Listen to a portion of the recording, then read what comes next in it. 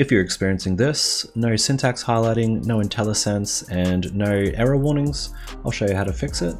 So first, open Visual Studio Installer. Find the Visual Studio that you're using. I'm using 2019 for Unity, so I'll click Modifier. Scroll down and ensure game development with Unity is checked. If it's not, check it and then click Modify here and that will install it. Next, go to Edit, down to Preferences. In here, go to External Tools, ensure Visual Studio is selected in your external script editor. Next, click Regenerate Project Files, close that, and always ensure that you're opening your scripts directly in Unity by double clicking them.